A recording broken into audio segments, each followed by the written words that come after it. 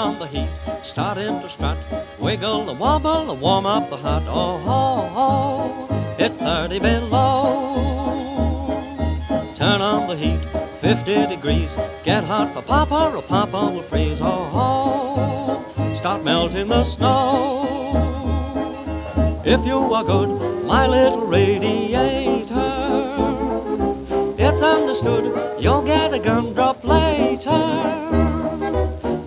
The heat, pour in the oil, starting to bubble, come to a boil. You put the burn off the popper and turn on the heat.